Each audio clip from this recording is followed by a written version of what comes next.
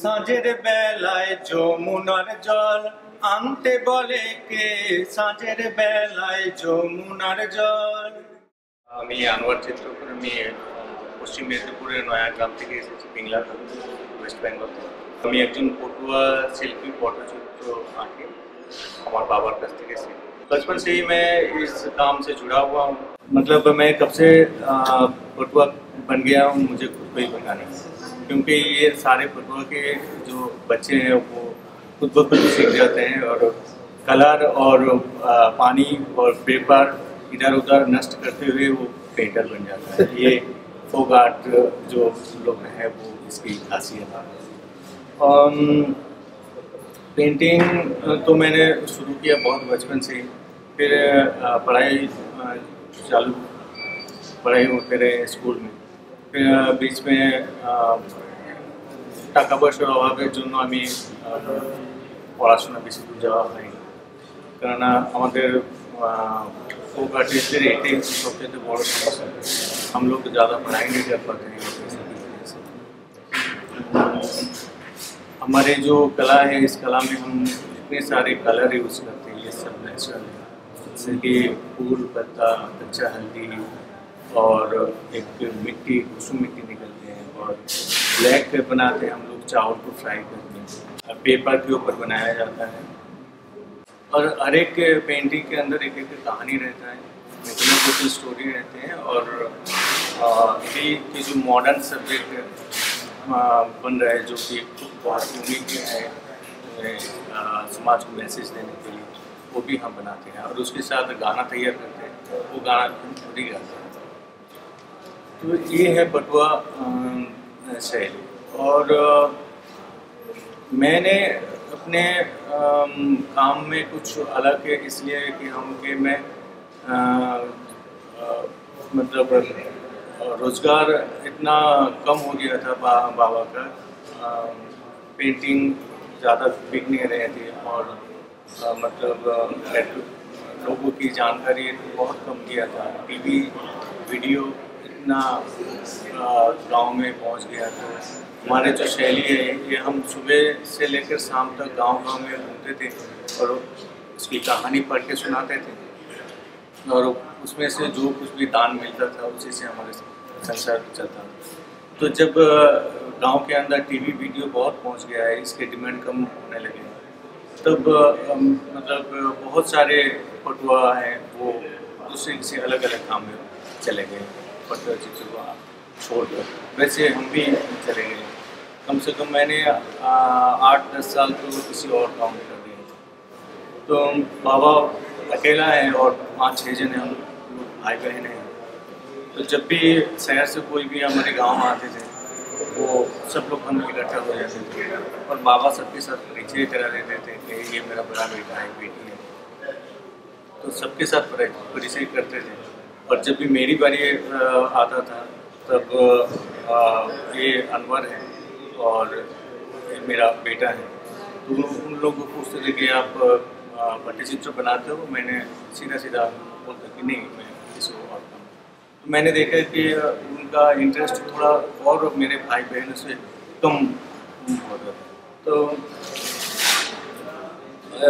उसके लिए थोड़ा मुझे बहुत ही दुख होता है कि मैं क्या करें पेंटिंग अगर बनाएँगे तो पेड़ नहीं बनेगा और नहीं बनाएँगे तो लोगों के तो लोग इंटरेस्ट कम होने लगेगा। तो मैंने बहुत तो सोच समझ कर ऐसे बहुत मतलब क्लास में थी और मैं अ, कुछ अलग कुछ कुछ भी अलग पेंटिंग के अंदर मेरे हमारे पटुआ शिल्प के अंदर कुछ अलग एक रंग देने की कोशिश बहुत रहती है। फिर मैंने वो सिलाई मशीन का काम कर रहे थे उसको मैंने छोड़ दिया। फिर अ, पटुआ काम में फिर से वापस आने लगे। फिर मैंने देखा कि बहुत सारे लोग वो करने तो फिर बाद में मैंने सोचा कि पटुआ लोगों की एक और खासियत है वो लोग मिट्टी का प्रतिमा बनाते हैं और पटुआ पेंटिंग भी बनाते हैं। तो पटुआ अ, पटुआ लोग कोलकाता में बैठ के जैसे कि कालीघाट पेंटिंग का जन्म हुआ। तो मैं मैंने सोचा कि कालीकर पेंटिंग अभी कोई नहीं बनाते हैं वो बिल्कुल म्यूज़ियम बंद हो गया। तो मैंने सोचा कि ये पटुआ की और शैली क्यों ना हम इसी को फिर से रिवाइव करें। तो अब देखेंगे मेरा पेंटिंग में कालीकर शैली का शेडो वर्क आगे और फेस की एंगल भी आगे। तो इस हिसाब से मैं कुछ थोड़ा अलग करने की कोशिश की तो काफ़ी लोग पसंद भी हैं और थोड़ा बिकने लगे हैं और थोड़ा अपनी परिवार को थोड़ा रिलीफ मिला है कि हाँ ठीक ठाक काफ़ी ठीक ठाक चल रहे हैं पहले से। वो पहले जैसे कि आज का खाना हो गया, कल क्या कहूँगा ये इससे थोड़ा रिलीफ मिला। और हम ऐसा सोचते हैं कि हमारी जो शैली है, ये हम हर संडे के संडे के दिन हम आसपास के गाँव के छोटे छोटे बच्चे हैं, हमारे जो पड़ोस के बच्चे हैं तो फिर कोलकाता से कुछ बच्चे लोग आ जाते हैं तो उनको हम सिखाते हैं और ज़्यादा से ज़्यादा उनको बोलने की कोशिश करते हैं, ताकि बच्चों को भी पता चले कि ये शैली है। और पटुआ के बारे में हम जितने लोगों को बता पाएँगे, मेरे ख्याल से ये ये अंदर से है। बहुत मतलब दिखाने के लिए कुछ भी नहीं। हमारे पट शिल्प ऐसा है कि हम अंतर से बनाते हैं, वो बिके या ना बिके। ये आपको मैं दिखा सकता हूँ, अभी रिसेंटली मैंने बनाया कि जो इसराइल पाकिस्तान में जो लड़ाइयाँ चल रही उसको लेकर मैंने एक पेंटिंग बनाया। मैं बनाने के समय सोच था इसको कौन खरीदेगा? क्योंकि ये मुस्लिम कंट्री की पेंटिंग बनाया और उसमें उर्दू आयत भी लिखा हूँ, उसको एंगल करके मैंने पेंटिंग बनाई तो मेरा कहना ये है कि ये पटुआ लोग पुराना ज़माने से समाज को एक मैसेज छोड़ते आए तो ये भी मेरे लिए मॉडर्न मैसेज है। बस ये सोच रहे हैं हम। अभी हम लोग थोड़ा बहुत जो लोग मतलब पटुआ फॉर्म के अंदर है, पर ये काम नहीं करते, वो लोग अलग अलग काम में व्यस्त हो गए थे। उसको, उसके जो बच्चे लोग हैं, उसको मैंने फिर से इन्वॉल्व करने की कोशिश कर रहा हूँ इसके ज़रिए कि हम लोग साड़ी, दुपट्टा टी शर्ट वगैरह, या फिर शो पीसेस मतलब जितने सारे यूज़ यूजबल जो सामान है, उसके ऊपर भी बनाने की कोशिश कर रहे हैं, ताकि मतलब उनको रोज़गार मिले। और मेरे ख्याल से जिस वर्क में रोज़गार है, वो वर्क आगे बढ़ेगी। और जिसमें रोज़गार नहीं है, वो बंद हो जाएगा, क्योंकि पेट पहले देखना चाहिए, फिर उसके बाद जो कुछ तो ये भी चल रहा है। और मेरे ख्याल से ऐसा लगता है कि ये जो पटुआ शिल्प शिल्प है। इसको सरकारी माध्यम से भी बच्चों के स्कूल में थोड़ा किशोर वयस की स्कूल में इसमें भी अगर बचपन से उनको थोड़ा दिखाया जाए इनके बारे में बताया जाए तो मेरे ख्याल से बहुत ही अच्छा है। और आपने जो शुरू किया आप कह रहे हैं दूसरे मीडियम पे उसको आप फिर मार्केट में कैसे ले जाते हैं? अभी तक तो मार्केट में हमारे बंगाल में एक ही मार्केट है जो पश्चिम बंगाल हस्तशिल्प मेला लगता है अभी चल रहा है। तो उसमें हम ले जाते हैं पूरे साल की जितनी सारे अलग अलग चीज़ें बनाए हैं वो लेकर जाते हैं। वहाँ से बहुत सारे रिस्पॉन्स आते हैं ऑर्डर मिल जाते हैं। अच्छा। और काफ़ी कस्टमर को लगता है कि हाँ इसमें बने हैं तो इस पर भी बना सकते हैं तो और अच्छा दिखेगा। ये एक ही एडवाइस मिल जाता है। तो ऐसे ही कुछ है और अभी दो चार कभी एन एन जी ओ भी हाँ। हमारे साथ थोड़ा बहुत जुट के काम करने लगे अच्छा। तो मेरे ख्याल से पटुआ लोग अगर तो उसके वजह से ऐसा हुआ है कि सब पटुआ लोग जो लोग बाहर चले गए तो वो लोग फिर से जुड़ गए हैं और अपने पटुआ के अंदर ही एक कंपटीशन बन गया है कि हमारे काम हम अपने अंतर से, अपनी मेहनत से जितना अच्छा दे सके। हमें उतना अच्छा रिस्पॉन्स मिले। ये कंपटीशन आने के बाद मेरे ख्याल से ऐसा लगता है कि पटुआ की जो काम ड्राइंग और उनकी सोच में तो बदलाव आ रहे हैं और बढ़ रहे हैं। अभी जो मैं गाना गा रहा हूँ ये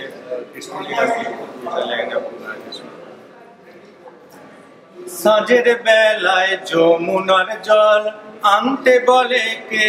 সাজের বেলায় যমুনার জল। সাজের বেলায় যমুনার জল আনতে বলে কে? সাজের বেলায় যমুনার জল। না জানি কোন কালারের সাথে মন মজেছে। না জানি কোন কালার সাথে মন মজেছে। সাজের বেলায় যমুনার জল আনতে বলে কে? সাজের বেলায় যমুনার জল।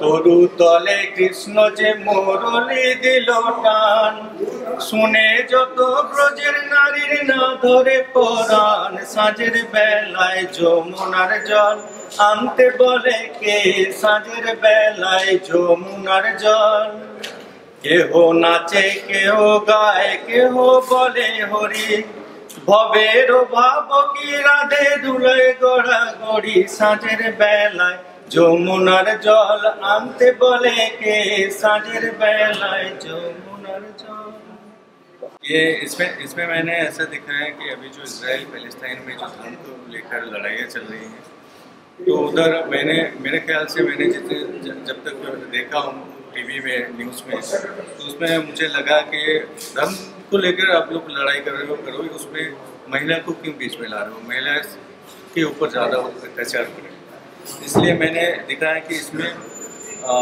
उर्दू आयत मैंने लिखा हूँ। ये ये उर्दू आयत को ही मैंने एंगल करके इस पेंटिंग को बनाया। इसमें मैंने एक मैसेज छोड़ा, इसमें लिखा हूँ मैं ज़िंदगी मोहब्बत। तो ज़िंदगी से मोहब्बत करो। और ज़िंदगी से मोहब्बत करने के लिए औरत ही मतलब अ, वो उसके अंदर ही एक माया है और वही ज़िंदगी की जो नाव है वो बह बह कर ले जाते हैं। तो आप लोग धर्म को लेकर लड़ाई करो कुछ भी करो महिला के ऊपर अत्याचार मत करो। क्योंकि एक इंसान को संभालने के लिए महिला ही सबसे भूमिका है मैंने दो हज़ार ग्यारह में मुझे लगा था कि माओइस्ट को लेकर बहुत कुछ हो रहा है। एक्चुअली माओइस्ट क्यों पहुँचे हैं? गाँव गाँव में जो, जिसके पास माओइस्ट लोग पनाह मिला है तो वो किस जगह में है? और क्यों इतना जल्दी जल्दी वो इतना खतरनाक आतंकवादियों को अपना लिया था? इसको लेकर मैंने काम किया था? कि वो, तो बेचारा भूखे हैं। तो इसीलिए जो भी उनको उनके सामने खाना रखा उनका हो गया। तो ये ये बात हम पहले क्यों नहीं देखे? सरकार क्यों नहीं देखा? इतने सारे बड़ी बड़ी संस्थाएँ ये क्यों नहीं देखी? तो इसको लेकर मैंने मावी उसका मैंने टाइटल दिया था लालगढ़ की माओवादी या तो फिर माओवादी की लालगढ़। ये मैंने टाइटल तो जो पेंटिंग बारह तेरह सीरीज़ में किया था वो एक दिल्ली के एक फाउंडेशन ने वो किताब बनाकर अच्छा। बना और फिर उसके बाद जैसे कि विश्व में आर्थिक मंदा चल रहा था। सारे देश में आर्थिक कमाई चल रही थी। तो उसके लिए भी मैं एक कॉमेडियन जैसे एक सब्जेक्ट लिया था कि लक्ष्मी को हम लक्ष्मी एक्चुअली धनरत्न की देवी है। तो हम ऐसा सोचते हैं कि हाँ देवी तो देवी है, लक्ष्मी। तो मैंने ऐसा सब्जेक्ट लिया कि लक्ष्मी को ले जा रहे हैं कैलाश से महादेव, ज़मीन पे नंदी और भृंगी को भेजा है लक्ष्मी को उठाने के लिए। क्योंकि दुनिया के इंसान लक्ष्मी को इतना नहीं मानते तो दुनिया से अगर लक्ष्मी उठ जाए और स्वर्ग में चला गया तो दुनिया में तो आर्थिक मंदा हो जाएगा। ऐसे कुछ तो फिर उसके बाद मैंने लिखा था कि अनलकी थर्टीन दो हज़ार तेरह जो साल की है। तो मैंने सब्जेक्ट लिया कि अनलकी थर्टीन। 2012 के दिसंबर नवंबर में तक जो भी करना है आप लोग कर दो क्योंकि इसके बाद अल्लाह की खातिर इसको लेकर भी एक अच्छा तो मॉडर्न इशू के ऊपर हम करते हैं जैसे कि दो हज़ार चार में हो गया था सुनामी। उसके बाद वर्ल्ड सेंटर जापान के ये अभी मेरा दादा जो है वो बना रहे मार्टिन लूथर। अच्छा किंग को लेकर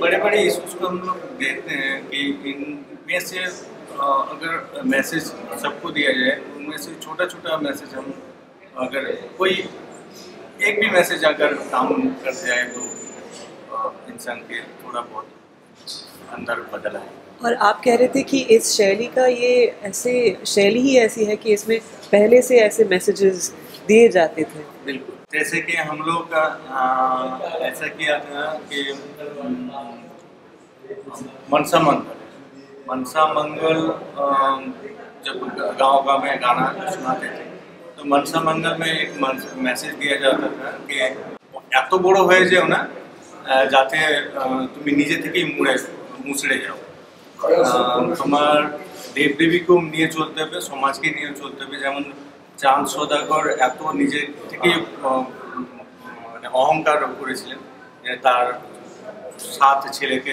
মরে যেতে হয়েছিল সাতটি বৌমা বিধবা হয়েছিল। তার অনেক দূর অব্দি স্ট্রাগল করতে হয়েছিল দরিদ্রতার মধ্যে দিয়ে। কিন্তু তার একটা সিদ্ধান্ত স্ট্রিক্টলি ছিল যে আমি আহ, মহাদেবকে ছাড়া অন্য কাউকে পুজো করব না। কিন্তু তার জন্য সব সংসারে সবাই কষ্ট পেয়েছে। তো সেরকম তোমার একটা স্ট্রিক্টলি একটা সিদ্ধান্ত থাকা দরকার, তাই বলে এই নয়, সবাইকে দুঃখ দিই।